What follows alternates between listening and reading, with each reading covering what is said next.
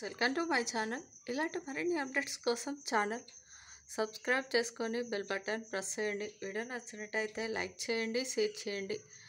నేను ఏమీ అనలేదు మమ్మీలా ఏమీ అనలేదు. మా ఫ్రెండ్స్తో ఇలా అన్నాను. అన్నీ బాగుంటే ఏ డిస్టర్బెన్స్ లేకుంటే ఈ పాటకి బేబీ షవర్ జరుగుండేది అని చెప్పాను. అంతే.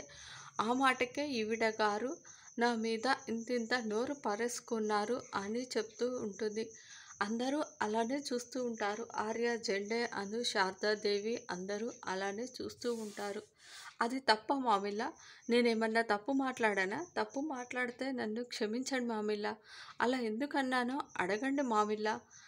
తనని నిలదీయండి మామిల్ల అని అంటూ ఉంటుంది. ఇక అందరినీ తను తనని ఏమైనా అంటారో ఏమో అని అందరినీ చూస్తూ ఉంటుంది మాన్సి మాత్రం. అలా ఎవరు మాట్లాడకపోయేసరికి నీరజ్ను అడుగుతుంది. అడుగు నీరజ్ మాట్లాడవేంటి నీరజ్? నా భార్యను ఎందుకు ఇలా అన్నారు అని అడగండి నీరజ్ అని అంటూ ఉంటుంది. తర్వాత మాన్సి మాత్రం అంతేకాదు మామిళ్ళ నా బిడ్డనే అంటావా? నీకు పెళ్ళ ఇన్ని సంవత్సరాలైనా పిల్లలు పుట్టలేదు. ఇక పుడతారా లేదా అనేది కూడా తెలియదు. ముందు నీ సంగతి చూసుకో అన్నారు అని చెప్తూ ఉంటుంది. ఇక అడుగు నీరజ్ మాట్లాడు నీరజ్ అని అంటూ ఉంటుంది. డోంట్ డిస్టర్బ్ ఇన్ మాన్సి ఈ టైంలో ఏంటి ఇలాంటి పని చేస్తున్నావు? తర్వాత మాట్లాడుకోవచ్చు కదా అని అంటాడు. తర్వాత తర్వాత మాట్లాడుకోవడమా అంతమందిలో నన్ను అంతలాగా అవమానిస్తే అది మీకు డిస్టర్బెన్స్ అనిపించలేదా? ఇప్పుడు నా నన్ను నేను ఇలా అంటే డిస్టర్బెన్స్ అయిందా? సరే నాకు అర్థమైంది నీరజ్. నాకు బాగా అర్థమైంది మీ సంగతి ఏంటి అనేది. నాకు సపోర్ట్ చేసే మా మామయ్యలను కూడా మా మామను కూడా బయటికి పంపించారు. ఇప్పుడు నేను అనాథను. నాకు ఇంట్లో స్థానం లేదు. నాకు ఇలా ఇంట్లో గౌరవం లేని చోట నేను ఉండలేను. నా డెసిషన్ నేనే తీసుకుంటాను అని చెప్తూ ఉంటుంది. అందరూ షాక్ అయి అలానే చూస్తూ ఉంటారు. తర్వాత అను మాత్రం ఏంటి మ్యామ్ ఇంత చిన్న విషయానికి ఇలా మాట్లాడుతున్నారు ఏంటి? ఇంత ఇది పెద్ద ఇష్యూ కాదు కదా? ఇది చిన్న విషయమే కదా? ఇలా చేస్తున్నారు ఏంటి అని అడుగుతూ ఉంటుంది. ఇది నీకు సంబంధించిన విషయం కాదు అను అని మా మాన్సి చాలా కోపంగా అంటూ ఉంటుంది. బస్తీలో పుట్టి పెరిగిన మీ అమ్మకే అంతలాగా రోషం పౌరుషం ఉంటే ఆస్తిలో పుట్టి పెరిగిన దాన్ని నాకెంత ఉండాలి అని కోపంగా అంటూ ఉంటుంది. కాను మాత్రం ఏమీ మాట్లాడకుండా సైలెంట్గా ఉంటుంది.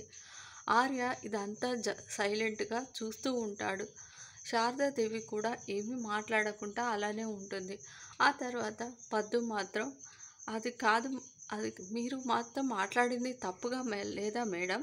నేను అన్నదే తప్పు వచ్చిందా అసలు మీరు తప్పుగా మాట్లాడలేదా? అది తప్పు కాదా? అని అంటూ ఉంటే సుప్పు మాత్రం పద్దు ఆగు అని అంటూ ఉంటాడు. తర్వాత మాన్సి మాత్రం కంగారు పడుతూనే ఉంటుంది. అంతా నా నా నేనే చేశాను అని చెప్తారో ఏమో అని ఆలోచిస్తూ ఉంటుంది. సుబ్బు సుబ్బు నన్ను వదులు సుబ్బు తను ఏం మాట్లాడుతుందో చూడు అని అంటూ ఉంటుంది. పద్దు ఆగు అని చెప్తున్నాను కదా వినవా నా మాట అని అంటాడు. తర్వాత మాన్సి మాత్రం నా డెసిషన్ నేనే తీసుకుంటాను. ఈ ఇంట్లో నుంచి నీరజ్ జీవితంలో నుంచి శాశ్వతంగా ఇంట్లో నుంచి వెళ్ళిపోతాను అంటూ ఉంటుంది. అలా అనడంతో అందరూ కంగారు పడుతూ షాక్ అయి అలానే చూస్తూ ఉంటారు. మా తర్వాత శారదాదేవి మాత్రం మాన్సి నీకేమైనా పిచ్చి పట్టిందా? అని అంటూ ఉంటుంది. త మాన్సి మాత్రం మామిళ్ళ మీరు ఏమీ మాట్లాడకండి. మీరు మాట్లాడే అవసరం లేదు. నాకు సపోర్ట్ చేయకుండా బయటి వాళ్ళకు సపోర్ట్ చేశారు చూడు. అది మీకు నాకు నాకున్న విలువ ఇంట్లో ఉన్న విలువ. బయటి వాళ్ళకే ఎక్కువ సపోర్ట్ ఉంది అని మాట్లాడుతూ ఉంటుంది. తర్వాత శారదాదేవి అలానే చూస్తూ ఉంటుంది. ఇక పద్దు మాత్రం అవును మేడం మేము బయటి వాళ్ళమే. బయటి వాళ్ళమే కానీ బయటి వాళ్ళమై కూడా మేము మంచిగానే మాట్లాడాం. మీరు మాట్లాడిందే తప్పు మేడం అని చెప్తూ ఉంటుంది. సుబ్బు మాత్రం పద్దును ఆగు అని చెప్తూ ఉంటాడు. ఇక నేను ఈ ఇంట్లో ఉండను ఈ ఇంట్లో నుంచి వెళ్ళిపోతాను అని మాన్సి బయటికి వెళ్తూ ఉంటే ఆగండి మేడం అని సుబ్బు అంటాడు. అలా అనడంతో ఆగిపోతూ ఉంటుంది. ఇక సుబ్బు అలా ఆగి అనడంతో ఆగిన మాన్సిని మేడం మేము మాట్లాడింది తప్పే మేడం. మమ్మల్ని క్షమించండి మేడం. మా పద్దు తొందరపాటుతో ఏదో మాట్లాడింది మేడం. తన తప్పు క్షమించండి అని అంటూ ఉంటాడు. మమ్మల్ని క్షమించండి అనగానే అను మాత్రం ఏంటి నాన్న ఇది? అని అంటూ ఉంటుంది. ఆకుబుజ్జమ్మ నువ్వు అని చెప్తూ మా వల్ల తప్పే జరిగిపోయింది మేడం. మేము బస్తీలో పెరిగి పుట్టి పెరిగిన వాళ్ళం. ఏదో వచ్చామా? అక్షింతలు వేసామా వెళ్ళామా? అన్నట్టు ఉండకుండా మీ దగ్గరికి వచ్చి మిమ్మల్ని నానా మాటలు అని అనుమానించాం మేడం. మా తప్పు క్షమించండి అను చేతులు జోడించే దండం పెడుతూ ఉంటాడు. ఇక తర్వాత పద్దును కూడా పద్దు వెళ్ళి మేడంను క్షమించమని అడుగు అంటాడు.